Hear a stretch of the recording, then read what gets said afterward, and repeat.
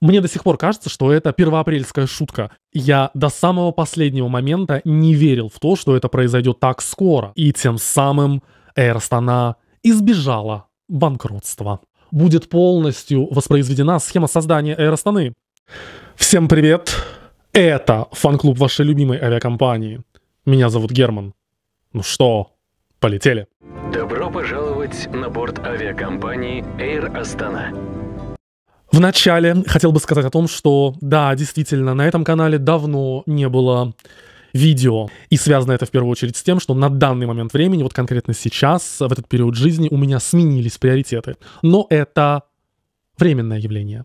Аэростаны по-прежнему очень много в моей жизни. Вот э, кофе я по-прежнему пью из кружки с э, символикой авиакомпании. Также брелоки ношу на своей сумке. Вот Аэростана э, летающий Казахстан и так далее. Просто так случилось, что приблизительно полгода назад э, закончились темы, на которые я хотел высказываться, а вместе с ними пропало желание открывать рот вообще. Но в начале этого года произошло событие, которое я никак не могу обойти стороной, и мне стало, и в январе уже стало понятно, что в любом случае придется делать э, ролик на эту тему. Подсказка, которая находится, как всегда, на табло за моей спиной, это IPO Air Астаны. То есть первичное публичное предложение. Initial Public Offering. Но в этом ролике речь пойдет не только о размещении Air Astana на бирже, но также поговорим о скором вероятном появлении новой авиакомпании в Казахстане. Но перед тем, как начать основное повествование, хочу сказать о том, что, несмотря на то, что на этом канале ролики выходят не так часто, у нас есть действующая активная страница в Инстаграм, название которой вы видите сейчас на своем экране. А, публикации а, об Air репосты видео от бортпроводников и пилотов.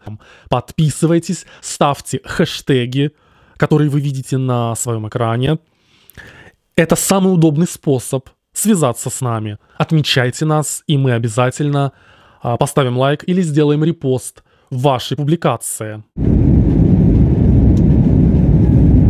IPO Air Astana. Честно сказать, я до самого последнего момента не верил в то, что это произойдет так скоро, в 2024 году. Видео, а, где я рассуждаю на эту тему, есть на канале, вот по вот этой ссылке, можете пройти и посмотреть. Так что же заставляло меня сомневаться? Конечно, это постоянные разговоры о выделении Флайерстан в отдельную, независимую от Air авиакомпанию. Хотя изначально а, группа выстраивала такую бизнес-модель, которая предполагала совместную деятельность и предоставление полного спектра услуг на рынке авиаперевозок э, Казахстана и не подразумевала выделение лоукостера в отдельную компанию. Эффективность этой конструкции была продемонстрирована и принесла ошеломляющий успех в 2020-2021 году, в период э, коронавирусных ограничений, когда Air Astana не могла выполнять э, зарубежные рейсы, а рост внутреннего пассажиропотока, открытие новых рейсов э, благодаря Флайерстану обеспечил приток выручки, и тем самым Air Astana избежала банкротства. Я не буду углубляться в этот вопрос, так как на эту тему есть несколько интервью Питера Фостера, в которых он рассказывает об удачном прохождении кризиса короны.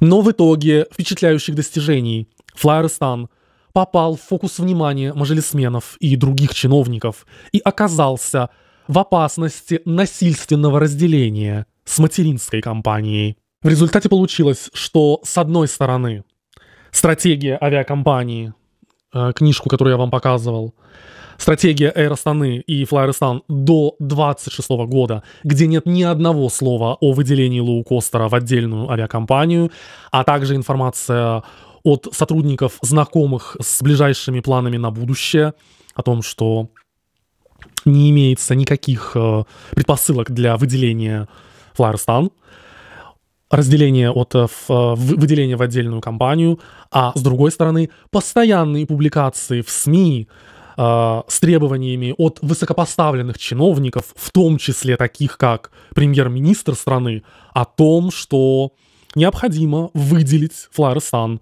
в отдельную компанию. А что вы думаете об этом? Оставляйте свои комментарии под видео, давайте подискутируем, давайте пообщаемся на эту тему. Также поставьте лайк этому видео, таким образом вы помогаете продвижению этого ролика, а мы совершенно бесплатно продвигаем бренд Air Astana. Лично мне изначально было понятно, что IPO Air Astana без Flyer Stan было просто невозможным. Если бы это произошло, то авиакомпания потеряла бы половину своей стоимости. В конце торгов, но не на бирже, а в высоких кабинетах, было принято решение, которое устроило всех. А сразу после Питер Фостер эксплицитно дал понять, что разделения не будет. Но чуть позже Флайерстан получит статус независимого перевозчика, оставшись при этом на 100% дочерней авиакомпанией Astana. Сегодня Флайерстан находится в процессе получения сертификата эксплуатанта, и, вероятнее всего, на момент публикации этого ролика он его уже получит. Что касается IPO, акции авиакомпаний можно приобрести на биржах в Казахстане и Лондоне. При этом FlyArystan значится как стопроцентное дочернее предприятие Air. То есть по факту лоукост остается частью Family Group. Те, кто искренне полагал, верил, надеялся или требовал того, чтобы лоукост был выделен в отдельного перевозчика, должны просто посмотреть и проанализировать стратегию развития Air Astana, увидеть, найти там э, данные о планах по строительству э, центра по обучению и подготовке пилотов и бортпроводников, который уже, к слову, открыт, на который компания потратила больше 1 миллиона долларов, маркетинговую стратегию по созданию имиджа Флайерстан как части Аэростаны такой же надежной, такой же безопасной и многое-многое другое. Более того, для инвесторов создан специальный сайт, где они могут найти всю необходимую информацию. Также там черным по белому на трех языках написано одна группа, два бренда. Получается, что в этой части мой прогноз сбылся на 100%. Сегодня авиакомпания заказывает обзоры у авиационных блогеров таким образом, чтобы в роликах были показаны обе компании. Также в них звучат некоторые важные тезисы из новой маркетинговой стратегии, о которой, к слову сказать, я расскажу в следующем выпуске. Поэтому, чтобы не пропустить, подпишитесь на канал прямо сейчас. Сторонников демонополизации, которые часто обвиняют Эйростану в захвате и контроле рынка перевозок, я хочу успокоить. У меня для вас есть хорошие новости. Согласно планам Кабмина Казахстана, в стране должна появиться новая авиакомпания. Об этом сообщил министр Ластаев. Чиновник довольно обтекаемо сказал о том, что либо будет создана с нуля, ну, казахстанская компания, либо для перевозок внутри страны будет привлечена действующая авиакомпания из Юго-Восточной Азии. Лично мне более реалистичным кажется первым, э, первый сценарий, при котором правительство найдет э, зарубежного, вероятно, зарубежного инвестора, готового вкладываться в новую казахстанскую авиакомпанию. Таким образом, будет полностью воспроизведен... воспроизведен... Таким образом, будет полностью воспроизведена схема создания аэростаны. Эта модель доказала свою жизнеспособность. Почему я так уверен в этом? Есть несколько фактов, которые номинально указывают, подтверждают мои догадки.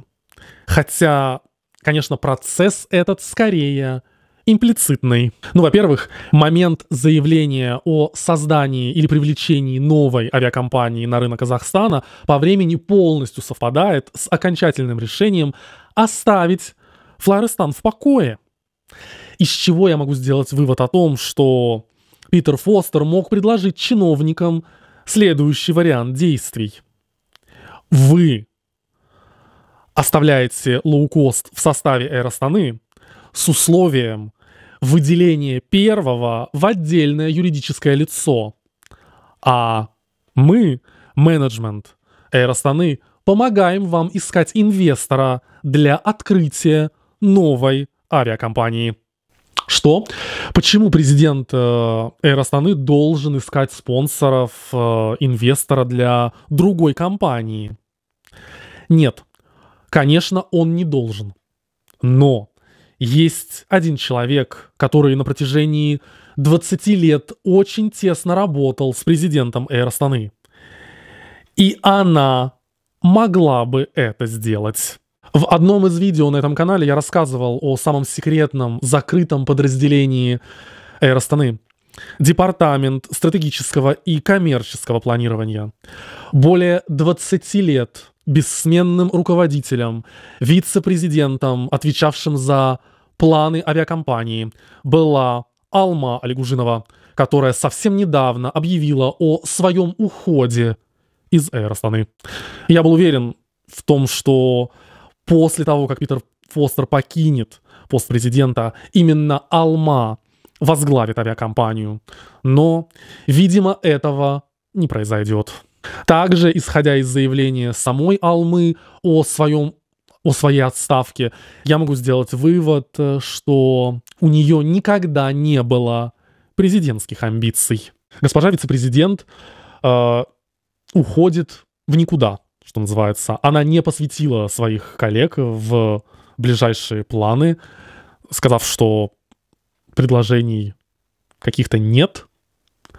Если появится, то она их рассмотрит. Но мне вообще, честно говоря, очень сложно поверить в то, что специалиста такого уровня можно просто вот так отпустить.